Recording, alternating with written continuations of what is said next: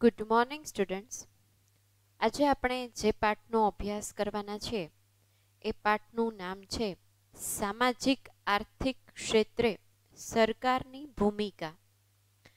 તો સામાજિક અને આર્થિક ક્ષેત્રમાં વિકાસ થાય એ માટે સરકાર શું પ્રયત્ન કરી રહી છે અથવા તો તે કયા કયા એવા યોજનાના ભાગરૂપે એવા પગલાં લઈ ચૂકી છે આઝાદી પછી. અને જેના લીધે સામાજિક, આર્થિક ક્ષેત્રે આપણે વિકાસ સાધ્યો છે, એના વિશે આપણે આ પાઠમાં વિગતે અભ્યાસ કરવાના છે એમાં મુખ્ય મુદ્દાઓ આપણે જે ભણવાના છે એમાં પહેલાંના સમયની વાત કરશું, એટલે કે પ્રાચીન સમયની આઝાદી મળ્યા તે પહેલાંની વાત, પ્રાચીન સમયની વાત આઝાદી પછી કેવી કેવી પરિસ્થિતિ હતી, તેનો ખ્યાલ મેળવીને આગળ જતા આપણી જરૂરિયાતો, મૂળભૂત જરૂરિયાતો જે છે, એ દરેકને મળી રહે, એ જરૂરિયાતોમાં વધારો થયો. ત્યાર પછી આપણે ખેતી ક્ષેત્રમાં સ્વાવલંબી બન્યા, એટલે કે ખેત ઉત્પાદનમાં સ્વાવલંબી બન્યા, હરિયાળી ક્રાંતિ થઈ.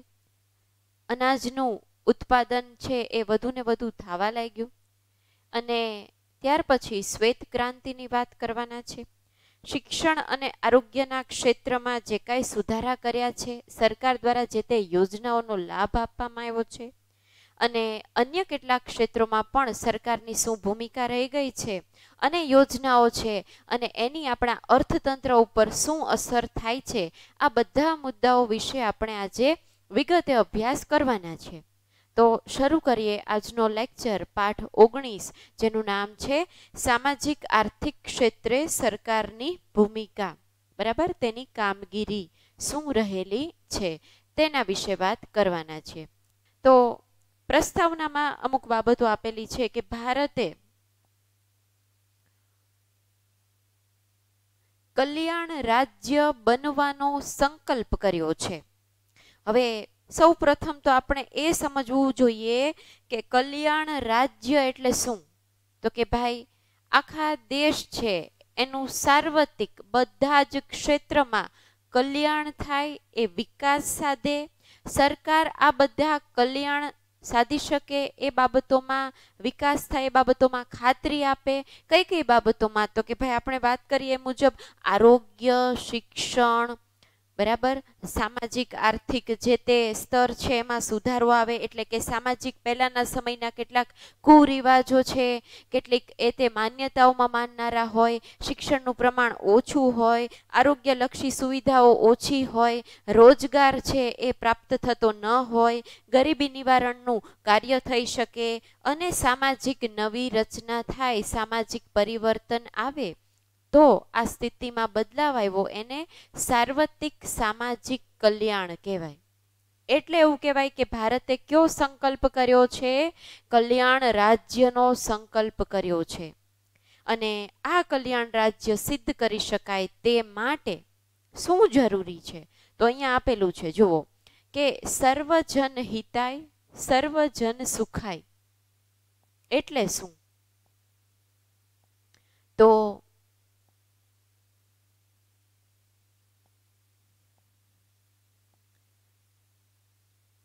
સર્વજન હિતાય, સર્વજન સુખાય.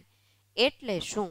તો કે ભાઈ દરેક છે, સમાજમાં વસતા દરેક લોકો છે તેનું હિત થાય, તેનું કલ્યાણ થાય, તો સર્વજન એટલે કે દેશમાં વસતી તમામ પ્રજા છે એ શું થઈ શકે? સુખી થઈ શકે. અને આ જ સમાજ વ્યવસ્થાનું નિર્માણ કરવું જરૂરી છે. જો સર્વત્ર બધી જ દિશાઓમાં વિકાસ સાધી શકાશે, દરેકનું હિત થશે, દરેકને દરેક સુવિધાઓ પાયાની મળી રહેશે, એના જીવન ધોરણમાં સુધારો થશે, તો જ સર્વનું સુખ થયું ગણાય અને દેશ છે એ પ્રગતિ સાધી શક્યો છે દરેક દિશાઓમાં એવું કહી શકાય. એટલે તો હાલમાં પણ આપણને બધાને ખબર છે, નરેન્દ્રભાઈ મોદીનો પણ મંત્ર શું છે? આપણને આપેલો, તો કે ભાઈ સબકા સાથ, સબકા વિકાસ. એટલે શું? તો કે ભાઈ સર્વનું ભલું થાય, સૌનો વિકાસ થાય.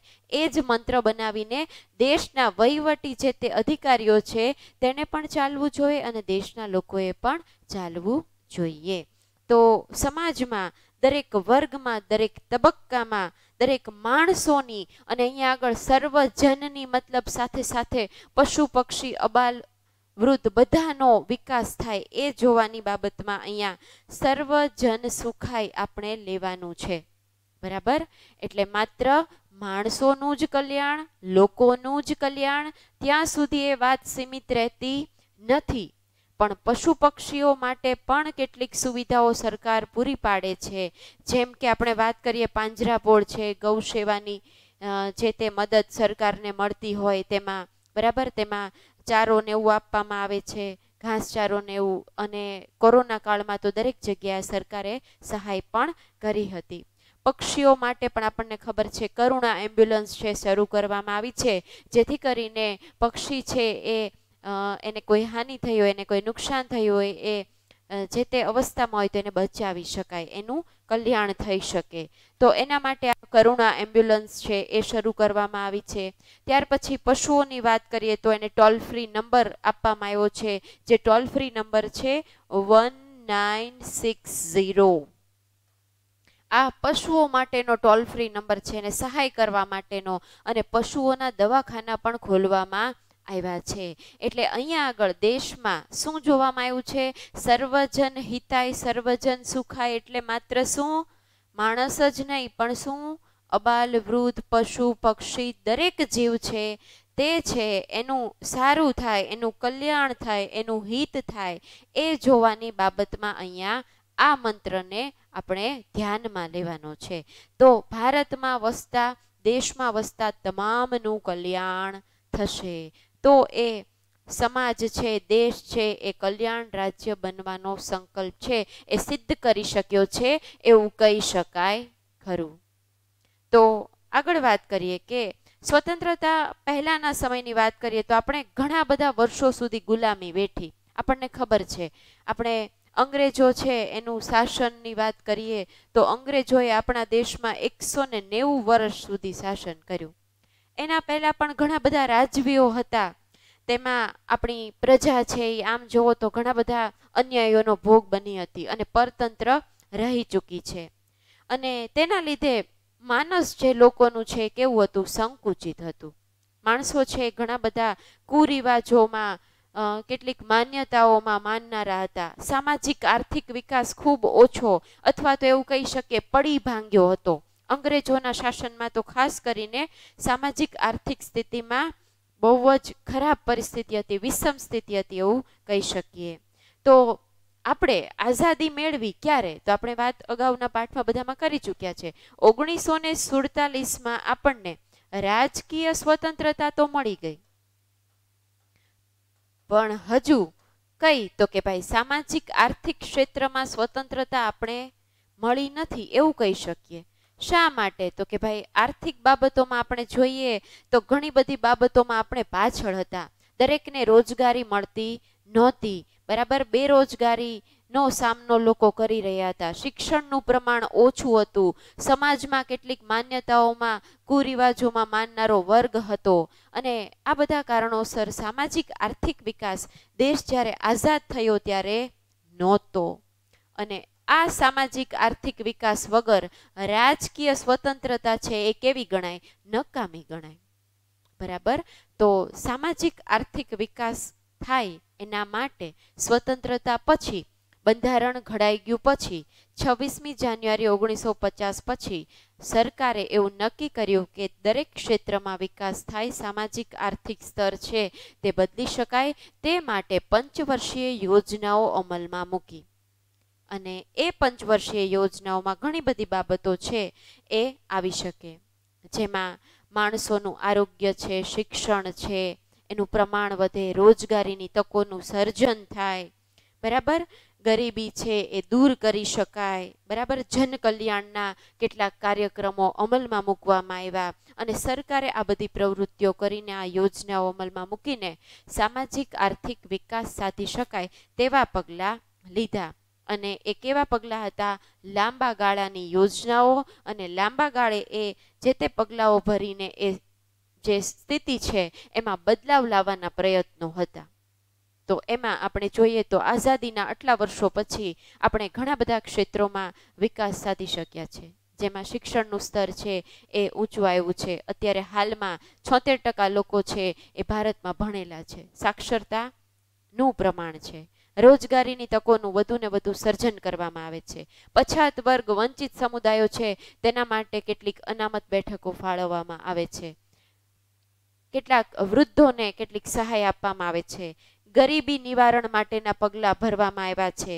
ગરીબી રેખા હેઠળ જીવતા કુટુંબોને અનાજ છે ચોખા છે, ખાંડ છે, તેલ છે, એવી જીવન જરૂરિયાતની વસ્તુઓ છે, તે ખૂબ જ ખૂબ જ સસ્તા દરે આપવામાં આવી છે.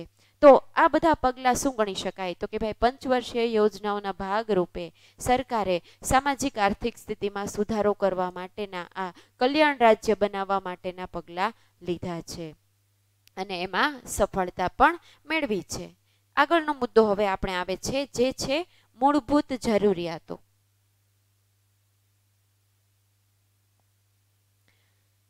તો આપણને બધાને ખબર છે કે આપણી પાયાની અથવા તો મૂળભૂત જરૂરિયાતો કઈ કઈ ગણાય. તો સૌથી પહેલાં તો મૂળભૂત જરૂરિયાતમાં આવે છે અન્ન. અન્ન એટલે ખોરાક. બરાબર? અહીંયા તમને એનું ચિત્ર મૂળભૂત જરૂરિયાતોનું દર્શાવેલું છે. જુઓ. અહીંયા જ તમને આ ચિત્રને જોતા જ ખ્યાલ આવી જાય કે મૂળભૂત જરૂરિયાતો શું છે. તો અહીંયા આગળ રહેઠાણનો ફોટો અહીંયા મૂકેલો છે. આ સાઈડ ખોરાક કે અન્ન આપેલું છે. રહેઠાણ અથવા તો પહેલાના સમયમાં જેને શું કહેતા? ઓટલો કહેતા. બરાબર? અહીંયા આગળ ટેક્સ્ટ બુકમાં મટીરિયલમાં શબ્દ મૂકવામાં આવ્યો છે ઓટલો. ઓટલો એટલે શું? તો કે ભાઈ રહેઠાણની વાત કરવામાં આવી છે. બરાબર? તો મૂળભૂત જરૂરિયાતોમાં અન્ન એટલે કે ખોરાક, તેને પોષણયુક્ત સારો પૌષ્ટિક ખોરાક મળે એ જરૂરી છે, એ પાયાની જરૂરિયાત છે. બીજું આપ્યું છે વસ્ત્ર.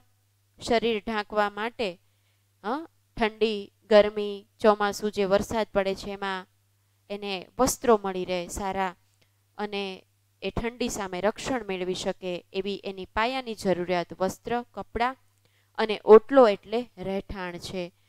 એ ઉપરાંત કેટલાક સંસાધનો અહીંયા આગળ પાણી બતાવેલું છે. બરાબર? અહીંયા આગળ અન્ય સંસાધનો બતાવેલા છે. અને તેના દ્વારા શું થશે? તો કે માણસ છે એ કલ્યાણ તેનું હિત સાધી શકશે, એનું કલ્યાણ સાધી શકશે અને આ બધી પાયાની જરૂરિયાતો એને મળવી જરૂરી છે. તો એક માર્કનો પ્રશ્ન છે, ભારત છે એણે કેવું રાજ્ય બનવાનો સંકલ્પ કર્યો છે? કલ્યાણ રાજ્ય બનવાનો સંકલ્પ કર્યો છે. કલ્યાણ રાજ્યની એ સંકલ્પ છે એ ક્યારે સિદ્ધ કરી શકાય? તો આપણે વાત કરી અગાઉ કે સર્વજન હિતાય, સર્વજન સુખાય, ની વ્યવસ્થાનું નિર્માણ થશે તો આ કલ્યાણ રાજ્ય બની શકશે. ત્યાર પછી આપણે વાત કરી કે મૂળભૂત જરૂરિયાતો કઈ છે? પાયાની જરૂરિયાતો કઈ છે? તો કે ભાઈ અન્ન અથવા ખોરાક, વસ્ત્ર કે કપડાં ઓટલો કે રહેઠાણ કહી શકીએ? આ પાયાની જરૂરિયાતો દરેક માટે આઝાદી પહેલાં જરૂરી જ હતી.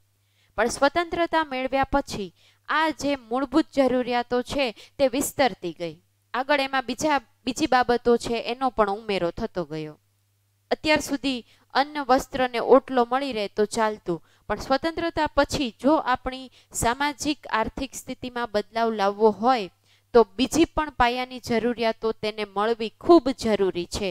તો સ્વતંત્રતા પછી આ મૂળભૂત જરૂરિયાતોમાં વધારો થયો, તેમાં કઈ બાબતો છે તે ઉમેરવામાં આવી, તો તેમાં આપણે જોઈએ તો શિક્ષણ, વ્યક્તિ શિક્ષિત હશે, તો એ સારી રીતે રોજગારી મેળવી શકશે, રોજગારી મળશે, આવક મળશે, તો એના જીવન ધોરણમાં સુધારો થશે. એટલે શિક્ષણ પણ ખૂબ જરૂરી છે. તમે વિચાર કરો, વ્યક્તિ શિક્ષિત ન હોય તો એને કઈ કઈ બાબતોનો સામનો કરવો પડે? આની આની પહેલાના પાઠમાં પણ આપણે આ બાબત વાત કરી ચૂક્યા છે બરાબર? શિક્ષિત વ્યક્તિ ન હોય તો એને સારું કોઈ કામ કરવા ન મળે. એટલે આવક કેવી મળે? ઓછી મળે. આવક ઓછી મળે એટલે એની પાયાની જરૂરિયાતો પાછળ તેનો ખર્ચ થઈ જાય. બીજી અન્ય જરૂરિયાતો માટે પૈસા રહે નહીં. બરાબર? પૈસાની તંગી રહે. પાયાની જરૂરિયાતોમાં ક્યારેક એને ન પણ મળે એવું બને. બરાબર?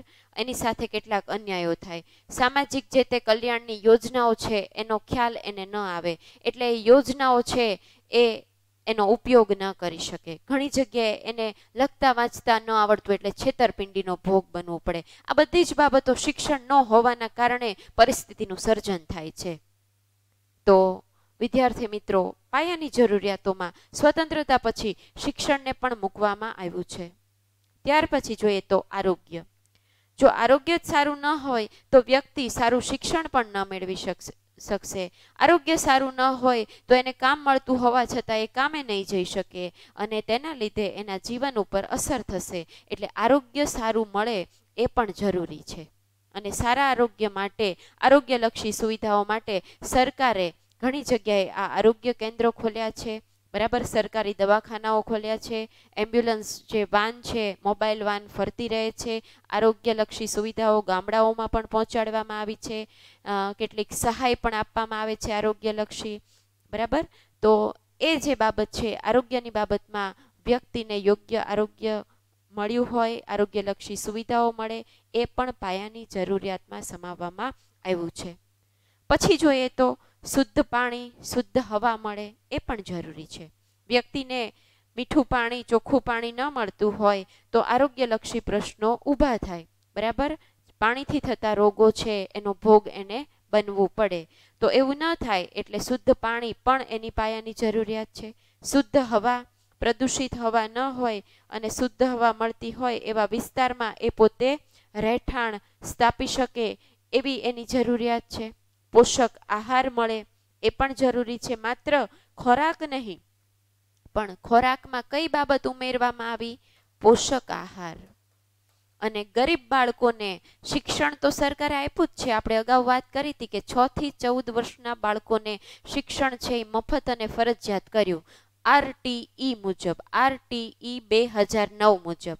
રાઇટ ટુ એજ્યુકેશન મળ્યું, પણ સાથે સાથે શિક્ષણ ક્યારું એ, ક્યારે એ મેળવી શકે? કે જ્યારે એને યોગ્ય પૌષ્ટિક આહાર મળતો હોય. પૌષ્ટિક આહાર મળે તો એનો શારીરિક, માનસિક વિકાસ પણ સારો થાય અને સારું શિક્ષણ મેળવી શકે. એટલે આહાર નહીં, પણ હવે એમાં એક વાત ઉમેરવામાં આવી. પહેલાં આપણે વાત કરી કે અન્ન કે ખોરાક કે આહાર તો હતું પણ ત્યારે પોષક આહાર મળવો જોઈએ એવી વાત નહોતી. અને એટલે સરકારે હાલમાં આ ગરીબ બાળકોને સરકારી શાળાઓમાં ભણતા હોય તેના માટે મધ્યાહન ભોજન યોજનાની પણ શરૂઆત કરી છે ને એનો લાભ બાળકોને મળી રહ્યો છે. ગરીબી રેખા હેઠા હેઠળ જીવતા લોકોને એવા કુટુંબોને સસ્તા ભાવની દુકાનોમાં, રેશનની દુકાન જેને કહીએ છીએ, એમાં આવા જે તે પોષણ લગતી અથવા તો પાયાના જે તે જરૂરિયાત કહેવાય, અનાજ છે, તેલ છે, ખાંડ છે કેરોસીન છે, આ બધું આપવામાં આવે છે. એનું કારણ જ છે કે એને પોષક આહાર મળી રહે. એ ઉપરાંત આનંદ પ્રમોદ જેવા ક્ષેત્રમાં પણ એ આ મૂળભૂત જરૂરિયાતો છે, એ એના ક્ષેત્રમાં પણ એને આવા આનંદ પ્રમોદના અથવા તો મનોરંજનના સાધનો પ્રાપ્ત થાય એ જોવું એ બાબતને પણ મૂળભૂત જરૂરિયાતોમાં સમાવવામાં આવી છે. તો બરાબર બે પ્રશ્નો આમાંથી નીકળે છે. પહેલા એવો પ્રશ્ન પૂછાય કે મૂળભૂત જરૂરિયાતો કે પાયાની જરૂરિયાતો કઈ કઈ છે? તો અન્ન, વસ્ત્ર અને ઓટલો આ ત્રણ પહેલા લખવાનું. પણ પ્રશ્ન અલગ રીતે પૂછ્યો છે. કેવી રીતે પૂછ્યો છે? તો કે ભાઈ, સ્વતંત્રતા પછી મૂળભૂત જરૂરિયાતોમાં કઈ કઈ બાબતોનો સમાવેશ કરવામાં આવ્યો છે? અથવા કઈ કઈ બાબતો કે કયા કયા ક્ષેત્રો ઉમેરાયા છે? તો પછી એમાં આ બધી જ બાબતો આવે. પહેલાં આપણે લખ્યું, એ તો લખવાનું જ છે. અન્ન, વસ્ત્ર અને ઓટલો ઉપરાંત શિક્ષણ, આરોગ્ય, શુદ્ધ પાણી, શુદ્ધ હવા પોશાક પોષક આહાર અથવા તો પૌષ્ટિક આહાર અને મનોરંજનના સાધનો કે આનંદ પ્રમોદના સાધનો વગેરે જેવી બાબતોને સ્વતંત્રતા પછી મૂળભૂત જરૂરિયાતોમાં એના ક્ષેત્રોમાં સમાવવામાં આવી છે. તો આ બે પ્રશ્નો ક્લિયર થઈ ગયા. બરાબર? હવે આગળ વધીએ આપણે. હવે આપણે આ મૂળભૂત જરૂરિયાતોની તો વાત કરી કે વધુ ને વધુ આ બધી જરૂરિયાતો પૂરી થાય અને એ જરૂરિયાતો પૂરી થાય એ માટે એમને નાણાકીય વ્યવસ્થા મળવી જરૂરી છે. અને નાણાકીય વ્યવસ્થા પૈસા હોય તો એ બધી જરૂરિયાતો સારી રીતે પૂરી કરી શકે. પણ પૈસા ન હોય તો તો ન થઈ શકે. તો એને પૈસા મળે, એને આવક મળે એ માટે રોજગારીની તકોનું સર્જન કરવામાં આવ્યું. અને નવા નવા ક્ષેત્રોમાં રોજગારી મળી રહે એ વ્યવસ્થા સરકારે એવી કેટલીક યોજનાઓ અમલમાં મૂકી. તો આ જે પાયાની જરૂરિયાતો છે, પોતાની જરૂરિયાતોને પૂર્ણ કરવા માટે કેવા કેવા પ્રયત્નો થઈ રહ્યા છે, તે આપણો હવે નેક્સ્ટ પોઈન્ટ છે. તો આપણે એક પછી એક દરેક બાબતો છે તેને સમજતા જશું.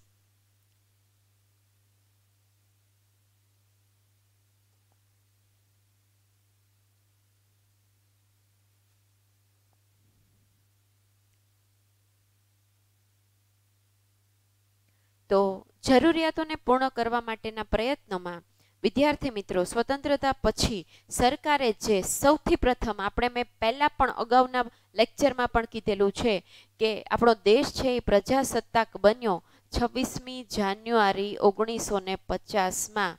ત્યાર પછી પંચવર્ષીય યોજનાઓ તેણે ઘડી અને અમલમાં મૂકી છે. તો સૌથી પહેલી બાબત આવે છે વિવિધ યોજનાઓ, પંચવર્ષીય યોજનાઓ. તો કઈ કઈ બાબતોમાં યોજના ઘડાય? તો કે આપણે વાત કરીએ મુજબ શિક્ષણ છે, આરોગ્ય છે, ગરીબી નિવારણના કાર્યક્રમો છે, બરાબર? તેને અલગ અલગ ક્ષેત્રમાં પોતે વિકાસ સાધી શકે, રોજગારીની તકોનું સર્જન થાય, વંચિત વર્ગ કે સમુદાય છે તેના ઉત્કર્ષના પગલાં કઈ રીતે લઈ શકાય, ખેતી ક્ષેત્રમાં કેવી રીતે ઉત્પાદન વધારી શકાય બરાબર? પશુપાલનની પ્રવૃત્તિને ઉત્તેજન આપીને, તેમાં વધારો કરીને કેવી રીતે શ્વેત ક્રાંતિ કરી શકાય? આપણે એ બધી બાબતો હમણાં આમાં નેક્સ્ટ આપણો મુદ્દો છે, એમાં જોવાના જ છે. ઉદ્યોગોનો વિકાસ થાય, એ માટેની કેટલીક યોજનાઓ ઘડવામાં આવી, એ માટેના કેટલાક નિયમો છે, એને બદલવામાં આવ્યા, સરકાર દ્વારા કેટલીક સહાય આપવામાં આવી, આ બધી યોજનાઓ છે, એ વિવિધ યોજનાઓમાં આવે. તો આપણી જરૂરિયાતોને પૂર્ણ કરવા માટે એ આવક મળવી જરૂરી છે, રોજગારી મળવી જરૂરી છે. દરેકને રોજગારી મળે, દરેકને શિક્ષણની સુવિધાઓ મળે, દરેકને સારું આરોગ્ય મળે. જે કાંઈ પછાત વર્ગના લોકો છે તેના ઉત્કર્ષના કાર્યો થાય, આ બધી જ બાબતોને લઈને યોજનાઓ સરકારે વિવિધ ઘડી હતી. બરાબર? એ જ આપણે આ પંચવર્ષીય યોજનાઓના ભાગરૂપે અહીંયા યોજનાઓને જોવાની રહે ઉદ્યોગોની વધુને વધુ સ્થાપના થાય, ખેતીમાં સિંચાઈની સુવિધાઓ પૂરી પાડી શકાય, આરોગ્યની બાબતમાં કેટલીક સુવિધાઓ સરકાર તરફથી આપવામાં આવ્યા, બધી જ બાબતો એમાં આવે છે. બીજો મુદ્દો ખૂબ મહત્વની બાબત જે છે, હરિયાળી ક્રાંતિ અને શ્વેત ક્રાંતિ થઈ છે. બરાબર? આપણે સ્વતંત્રતા પહેલાંની વાત કરીએ તો, આપણી પાસે જમીન તો જેટલી છે એટલી ને એટલી જ છે. બરાબર? જમીન કેટલી છે? સરખી જ છે. એમ છતાં, આપણે પહેલા અનાજની બાબતમાં પરાવલંબી હતા. બરાબર? આપણે જેટલું જોઈએ આપણી વસ્તીને, તેટલું અનાજનું ઉત્પાદન કરી શકતા નહોતા. વિચાર કરો, એનું કારણ શું? જમીન તો સરખી જ છે, ફળદ્રુપતા પણ સરખી જ છે. પણ કારણ તો કે ભાઈ આપણે પરંપરાગત ખેતી કરતા હતા. બરાબર? આપણા ખેડૂતોમાં એટલી નવા નવા સાધનોનો ઉપયોગ કરવાની કોઈ માહિતી નહોતી, સાધનો નહોતા. પરંપરાગત વર્ષોથી ચાલી આવતી હતી, એ જ પ્રમાણે એ ખેતી થતી હતી.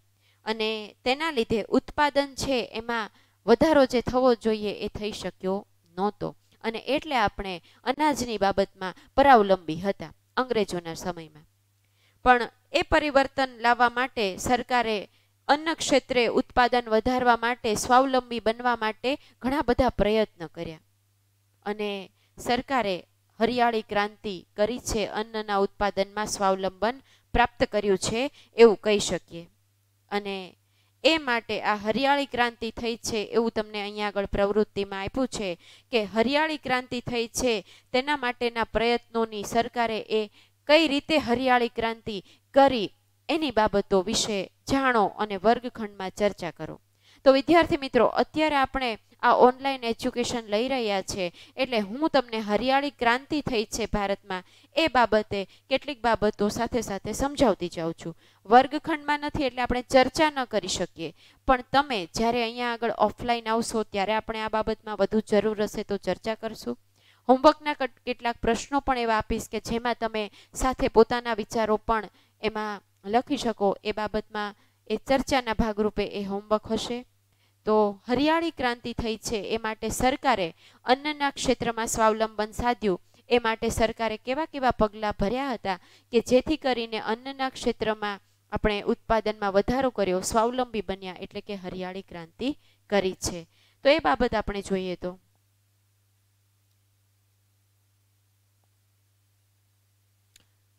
कैसे हुई भारत में हरी क्रांति की शुरुआत हरी क्रांति मतलब હરિયાળી ક્રાંતિ. અહીંયા આગળ હરિત ક્રાંતિ આપ્યું છે. મતલબ ગુજરાતીમાં છે ને હરિયાળી ક્રાંતિ કહેવાય. અને હરિયાળી ક્રાંતિનો સાદો અર્થ થાય છે અન્નની બાબતમાં સ્વાવલંબી. અન્નના ઉત્પાદનમાં વધારો અને શું કહેવાય? સ્વાવલંબી બન્યા છીએ. બરાબર? એટલે એ હરિયાળી ક્રાંતિ થઈ છે એવું કહેવાય. તો આ હરિયાળી ક્રાંતિ થઈ એ માટે સરકારે શું કર્યું? તો કે ભાઈ, પ્રથમ જ પંચવર્ષીય યોજના જ્યારે ઘડાઈ છે, ત્યારે તેમણે ખાસ કરીને કૃષિ ક્ષેત્ર ઉપર ભાર મૂક્યો. એટલે કે કૃષિ ક્ષેત્રમાં ઉત્પાદન વધારી કેવી રીતે શકાય એ માટેની યોજના ઘડી. બરાબર? એને હરિયાળી ક્રાંતિ માટેનો પ્રયાસ ગણી શકાય. સ્વતંત્રતા પછીનો પહેલો પ્રયાસ હરિયાળી ક્રાંતિ માટેનો થયો. જેના માટે અન્નના ઉત્પાદનમાં સ્વાવલંબન સાધી શકે, ઉત્પાદન વધારી શકાય, એ માટે શું કરવું જોઈએ? તો કે ભાઈ, પરંપરાગત ખેતી છે, એના સ્થાને ખેતીમાં નવી આધુનિક પદ્ધતિનો ઉપયોગ કરવામાં આવે. તો એ પદ્ધતિઓ ખેડૂતોને કઈ રીતે શીખવી શકાય? તો એના માટે નવી કૃષિ યુનિવર્સિટીની સ્થાપના કરવામાં આવી, જેમાં ખેડૂતોને ખેત ઉત્પાદનની વિવિધ પદ્ધતિઓ શીખવવામાં આવી. વિવિધ સાધનો છે, તેના ઉપયોગ શીખવવામાં આવ્યા અને ઉત્પાદનની અલગ અલગ પદ્ધતિઓ જંતુનાશક દવાઓના છંટકાવ, રાસાયણિક ખાતરોના ઉપયોગ, કઈ રીતે એક પછી એક પાક એક પાક લીધા પછી બીજો કયો પાક લેવો, આવી ઘણી બધી બાબતોને લઈને આ યુનિવર્સિટીઓમાં ખેડૂતોને શીખવવામાં આવતું. ખેડૂતોને લગતી કેટલીક કોલેજોની પણ સ્થાપના થઈ એટલે કે કૃષિ યુનિવર્સિટી અને કોલેજોની સ્થાપના કરવામાં આવી. આગળ એમાં જોઈએ તો નવા કેટલાક કૃષિ સંશોધન કેન્દ્રો પણ ખોલવામાં આવ્યા. એટલે કે ખેતીમાં ઉત્પાદન વધારવા માટે કેટલીક સંશોધન પ્રવૃત્તિઓ હાથ ધરવામાં આવી અને એ સંશોધનના ભાગરૂપે કઈ કઈ બાબતોમાં સંસાધનો થયા. તો કે ભાઈ સુધારેલા બિયારણો છે, એની બાબતમાં થયા. રાસાયણિક ખાતરોના ઉપયોગ કરીને કઈ રીતે પાક લઈ શકાય, એનો ઉપયોગ કેવી રીતે વધારી શકાય, એ બાબતમાં થયો. ખેડૂતોએ વધુ ને વધુ મહેનત કરી પુરુષાર્થના પગલાં ભર્યા. આ બધી કોલેજો, યુનિવર્સિટી, સંશોધન કેન્દ્રોના જે તે જઈને તાલીમ મેળવવી અને મહેનત કરવી, એટલે એ કહેવાય ખેડૂતોનો પુરુષાર્થ. બરાબર? વીજળીની સુવિધાઓ પ્રાપ્ત થાય અને સિંચાઈની સુવિધાઓ પણ વધારવામાં આવી.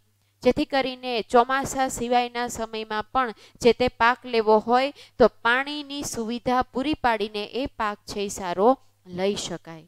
પહેલાંના સમયમાં શું હતું? સ્વતંત્રતા પહેલાં. તો સિંચાઈની સુવિધાઓના અભાવે બરાબર પાણી નહોતું મળતું એના કારણે માત્ર ને માત્ર ચોમાસા દરમિયાન એ જે ત્રણથી ચાર મહિનાનો સમયગાળો છે, એમાં જ ખાસ કરીને એ ખેતીના વધુ ને વધુ પાક લેવાના પ્રયત્ન થતા. પણ હવે પરિસ્થિતિ બદલાઈ છે એટલે સિંચાઈની સુવિધામાં વધારો કરવામાં આવ્યો. વીજળીની સુવિધાઓ છે એ ખેડૂતોને મળી રહે એ માટેની વ્યવસ્થા ઊભી કરવામાં આવી. અને આ બધી સુવિધાઓ અને આ બધા પરિબળોના કારણે ખેત ઉત્પાદનમાં અસાધારણ વધારો થયો છે. અને એ વધારો થયો એટલે જ આપણે એવું કહી શકીએ કે શું થયું છે? હરિયાળી ક્રાંતિ થઈ છે. ખેતી ક્ષેત્રમાં આપણે સ્વાવલંબી બન્યા છે. બરાબર? અને એટલે આ હરિયાળી ક્રાંતિ અને સરકારના પ્રયાસો ગણી શકીએ. હવે ખેડૂતોની સ્થિતિ છે, એમાં સુધારો થયો. દેશ છે, એને જે અન્નના ક્ષેત્રમાં પરાવલંબી હતો, એટલે કે બીજા દેશમાંથી આપણે આયાત કરવું પડતું, એના બદલે આજે આપણે દેશમાંથી નિકાસ કરતા થઈ ગયા છે. અન્ન છે એ બીજા દેશોમાં વેચતા થઈ ગયા છે. એટલે આવકનો સ્ત્રોત પણ વધે છે. દેશની આવકમાં પણ તેના લીધે વધારો થયો છે. ખેડૂતોની સ્થિતિમાં પણ સુધારો થયો. ખેડૂતોની સામાજિક આર્થિક સ્થિતિમાં પરિવર્તન આવ્યું અને તેના લીધે તેનું જીવન ધોરણ ઊંચું આવે છે. એટલે આજે ખેડૂતનો દીકરો છે એ ખેતીકામ જ કરતો હોય એવું નથી થતું. ખેડૂતના દીકરાને પણ સારું શિક્ષણ આપવામાં આવે છે અને શિક્ષિત બનીને એ સારી રોજગારી પ્રાપ્ત કરી પણ શકે છે. તો આ બધી પ્રવૃત્તિઓ થઈ. ખેત ઉત્પાદનમાં વધારો થયો એટલે વિશાળ બજાર મળી રહ્યું અને આ બધા પ્રયત્નોને કારણે સાથે સાથે આપણે બીજો મુદ્દો જે હરિયાળી ક્રાંતિ પછીનો હતો, એટલે કે શ્વેત ક્રાંતિની વાત કરી હતી, તે બાબત અત્યારે અહીંયા આગળ જોવાની છે. અહીંયા આગળ બીજું આપ્યું હતું, જરૂરિયાતો પૂર્ણ કરવાના ભાગરૂપે બીજી ક્રાંતિ જે થઈ એ હરિયાળી ક્રાંતિ અને શ્વેત ક્રાંતિ છે. તો શ્વેત ક્રાંતિ એટલે શું? તો કે ભાઈ આપણે આઝાદી મેળવ્યા પછી, બરાબર? પશુપાલન ક્ષેત્રમાં વિકાસ કરીને, બરાબર? ખેડૂતોને જે લાભ થાય, આપણને ખબર છે કે ભાઈ પહેલાંના સમયમાં ખેડૂત છે એ ખેતીની સાથે સાથે અન્ય પશુપાલનને પ્રવૃત્તિ કરતો. તો એ પશુપાલન અને દૂધ ઉત્પાદન છે, એમાં વધારો થાય અને એમાં જે દૂધ ઉત્પાદનમાં વધારો થાય, એટલે એને દૂધનો કલર કેવો હોય? સફેદ હોય. એટલે એને દૂધના ઉત્પાદનમાં વધારો કરીને એના આધારે આર્થિક સ્થિતિમાં બદલાવ લાવ્યા અને એટલે એવું કહી શકીએ કે શ્વેત ક્રાંતિ થઈ. તો એ શ્વેત ક્રાંતિ કેવી રીતે થઈ? તો કે ભાઈ ઓગણીસો ને પાસઠમાં રાષ્ટ્રીય ડેરી વિકાસ બોર્ડની સ્થાપના કરવામાં આવી. ક્યારે? ઓગણીસો ને પાસઠમાં. શેની સ્થાપના કરવામાં આવી? રાષ્ટ્રીય ડેરી વિકાસ બોર્ડ અને એ બોર્ડની સ્થાપના થયા પછી, એ સમયે આપણે જોઈએ તો દેશમાં દૂધની માંગ તો ખૂબ વધારે હતી અને એ સમયે દૂધની આયાત કરવામાં આવતી હતી. સરકારે એવું વિચાર્યું કે આ બાબતે યોગ્ય પગલાં લેવા જોઈએ અને એ સમયે ઈસવીસન ઓગણીસો ને ઓગણસિત્તેરમાં જે વર્લ્ડ બેંક છે, એના અધ્યક્ષ છે, એ ભારતમાં આવે છે અને એટલે ઓગણીસો ને ઓગણસિત્તેરમાં આર્થિક અથવા તો પૈસાની સહાય કોની પાસેથી લીધી આપણે? વર્લ્ડ બેંક પાસેથી લીધી. અને એ સહાય મળતા, બરાબર, આપણે એ ઓપરેશન ફ્લડ છે, એ અમલમાં મૂક્યું, કાર્યરત થયું અને એના લીધે અમૂલ છે, તેમણે દૂધનું ઉત્પાદન છે તેમાં ખૂબ વધારો કર્યો. હાલમાં જોઈએ તો આ શ્વેત ક્રાંતિના ભાગરૂપે દૂધના ઉત્પાદનમાં આપણે છે એ સ્વાવલંબી બન્યા છે અને અમૂલ છે એ પાંચ લાખ દૂધ ઉત્પાદકોને દૂધ પૂરું પાડે છે. પાંચ લાખ ઉત્પાદકોને બરાબર? અને દૈનિક, રોજે રોજ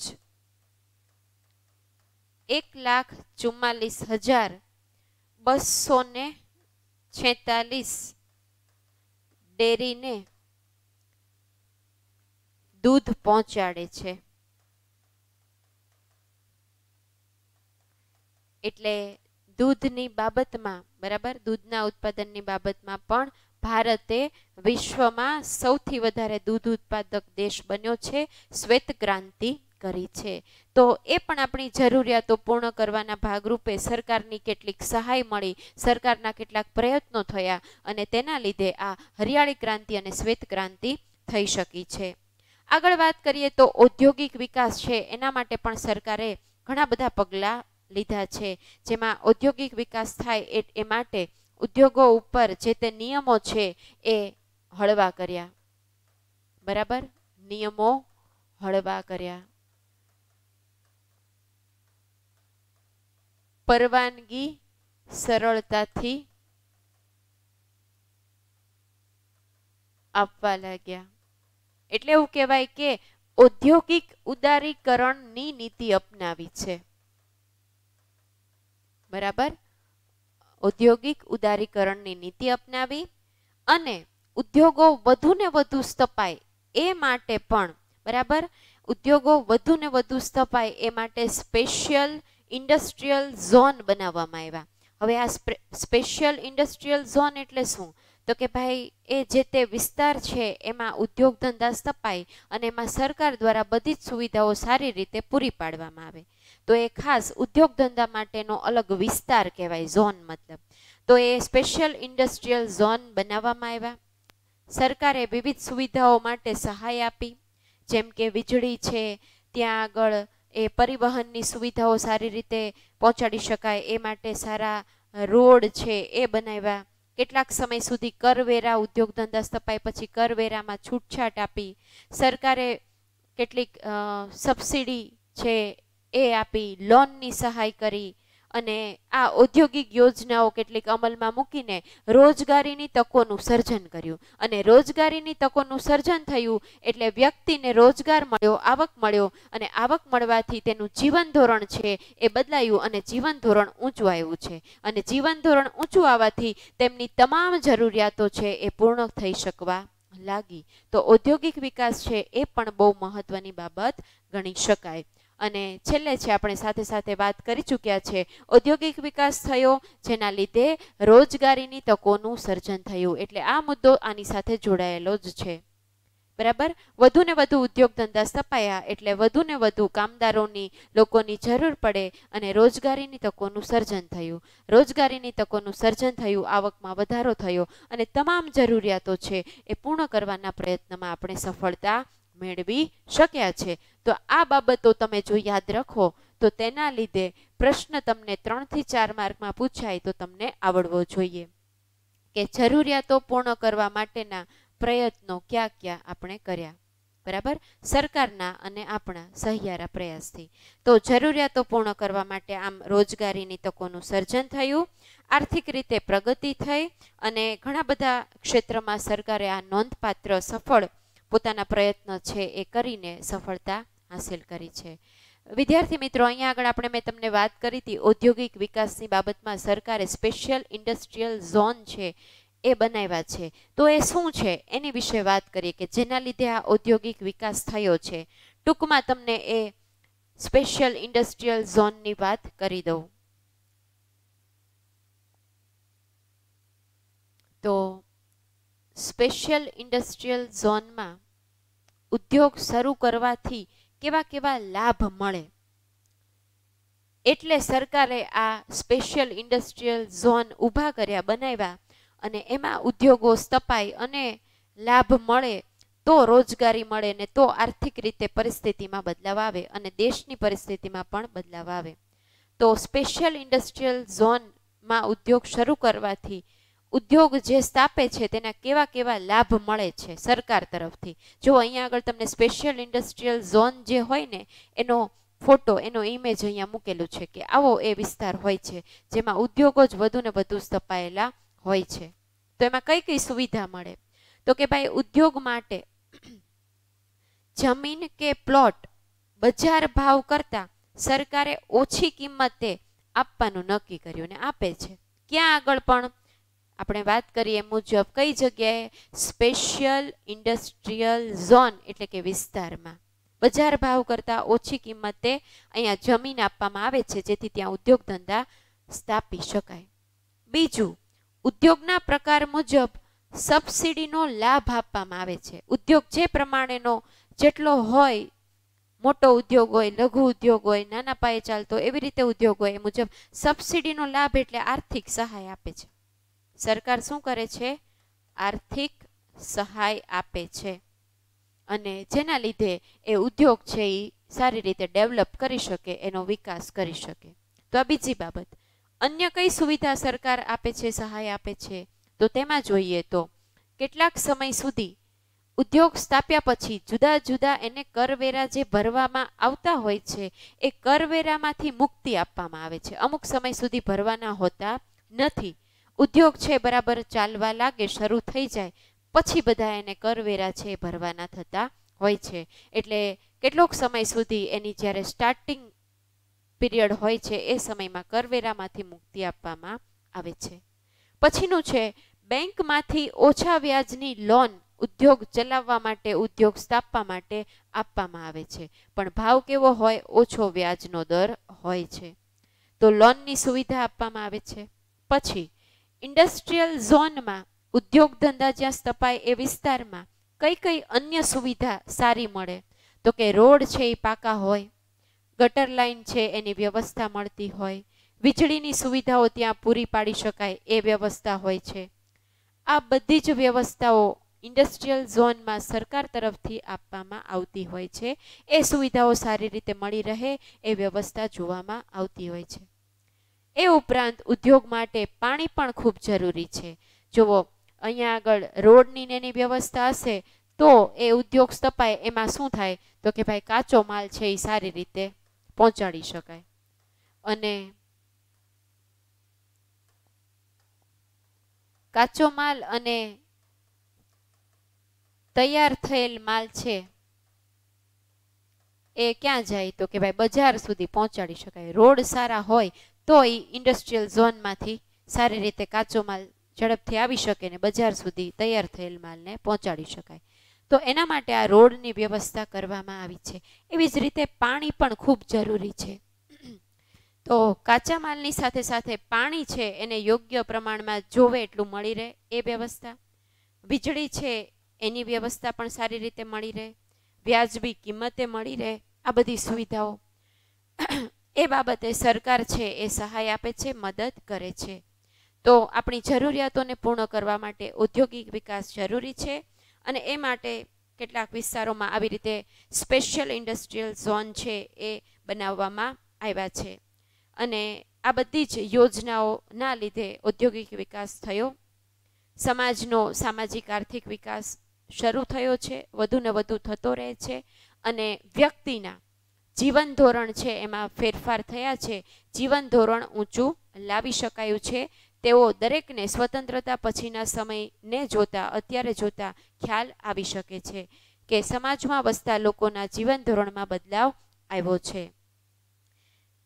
પછી એક પ્રવૃત્તિ આપવામાં આવી છે કે ગામના વડીલો અથવા તો તમારા શહેરમાં, તમે જ્યાં રહ્યો છો ત્યાં, વડીલો પાસેથી તમારા કુટુંબમાં આજથી ચાલીસ પચાસ વર્ષ પહેલાના મકાનો કેવા હતા એ જાણવાનું છે. પાકા મકાનો હતા તો કેવી કેવી સુવિધાઓ હતી? લોકો છે એના કપડાં કેવા હતા? કેવા કપડાં પહેરતા? એનો પહેરવેશ કેવો હતો? મકાનોની સ્થિતિ કેવી હતી? વીજળીની સુવિધાઓ કેવી મળતી હતી? બજાર છે એમાં કઈ કઈ વસ્તુઓ મળતી હતી જે હાલના સમયમાં નથી મળતી અને અન્ય સુવિધાઓ બીજી મળે છે. આ તફાવત તમારે હાલના સમયનો અને ચાલીસ પચાસ વર્ષ પહેલાંના સમયનો જાણવાનો છે. તો એ પ્રશ્ન છે એ પણ તમારે સાથે હોમવર્કમાં કરવાનો છે. હું ફરી વખત એકવાર કહી દઉં છું, જે તમે જરૂર હોય તો નોટ ડાઉન કરી લેજો. અન્ય પ્રશ્નો પણ આ કહ્યા પછી લખાવી દઉં છું. તો તમારે વડીલો પાસેથી આજથી ઘણા વર્ષો પહેલાં, ચાલીસ પચાસ વર્ષો પહેલાંના મકાનો, તેના રહેઠાણ જો પાકા મકાન હોય તો એમાં કઈ કઈ સુવિધાઓ હતી? કપડાઓ કે પહેરવેશ કેવા પહેરતા હતા? કઈ કઈ વસ્તુઓ છે ઉપલબ્ધ હતી, જે હાલમાં અત્યારે મળે છે અને પહેલાં નહોતી મળતી એવી વસ્તુઓ કઈ છે? આ બધી બાબતો છે એ જાણવાની છે અને તેના આધારે સરકારે અથવા તો સમાજમાં જે તે લોકોએ જે પ્રયત્ન કર્યા છે, જે યોજનાઓ અમલમાં મૂકી છે અને જે જીવન ધોરણ અને સામાજિક આર્થિક પરિસ્થિતિમાં બદલાવ લાવ્યો છે, તેના આધારે તમારે જાણવાનું છે. તો વિદ્યાર્થી મિત્રો, હવે પછીનો જે આપણો ટોપિક છે, શિક્ષણ અને આરોગ્યના ક્ષેત્રો, અન્ય ક્ષેત્રોમાં પણ સરકારની ભૂમિકા અને સરકારની કેટલીક અમલમાં મૂકેલી યોજનાઓ. આ બધા મુદ્દા વિશે આની પછીના લેક્ચરમાં આપણે અભ્યાસ કરશું. તો આજના લેક્ચરના આધારે હવે હું તમને અન્ય પ્રશ્નો એક તો આપી દીધો છે. ખાસ યાદ રાખી લેજો, લખી લેજો. બાકીના ત્રણથી ચાર પ્રશ્નો છે હું લખાવું છું. એ મારી સાથે નોટ ડાઉન કરી લ્યો.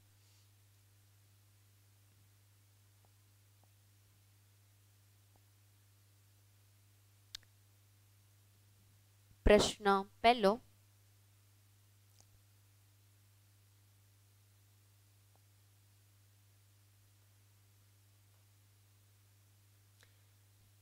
માનવીની.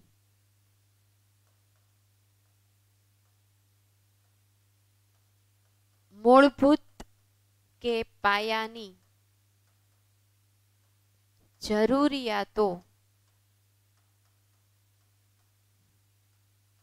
કઈ કઈ છે? બીજો પ્રશ્ન. સ્વતંત્રતા પછી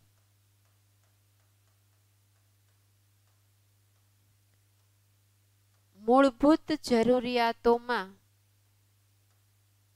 મૂળભૂત જરૂરિયાતોની બાબતમાં કયા કયા ક્ષેત્રો કે બાબતો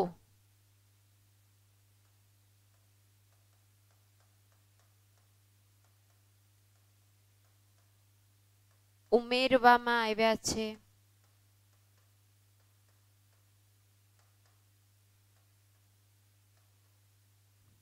પછીનું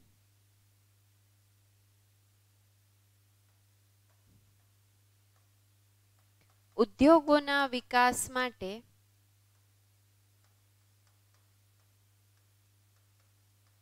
સરકારે કયા કયા પ્રયત્નો કર્યા છે? કે પગલાઓ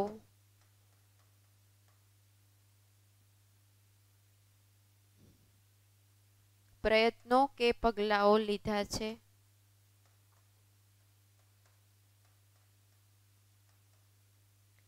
પછીનું.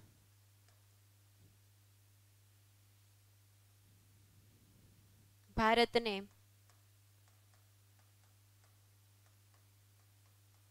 કલ્યાણ રાજ્ય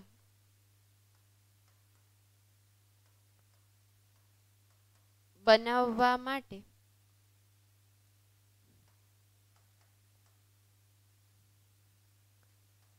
કઈ સમાજ વ્યવસ્થાનું?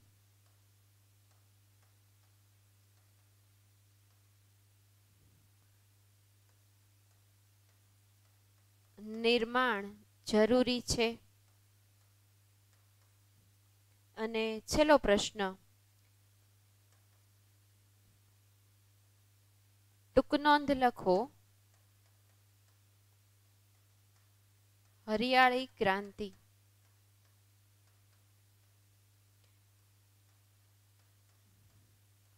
તો લખી લેજો હોમવર્ક અથવા તો સ્ક્રીનશોટ પાડી લેજો. અને બધાએ હોમવર્ક છે માત્ર ઉતારો નથી કરવાનો, ઉતારો કરીને મોકલી દેવા માટે નથી હોતું. તમને રિવિઝન થાય, યાદ રહી જાય એના માટે હોય છે. તો હોમવર્ક છે એ સારી રીતે રિવિઝન થાય, યાદ રહી જાય એવી રીતે કરીને તમારા હોમવર્ક ટીચરને મોકલી દેજો. અને આગળના અભ્યાસ માટે ઝડપથી પાછા મળશું. Good bye take care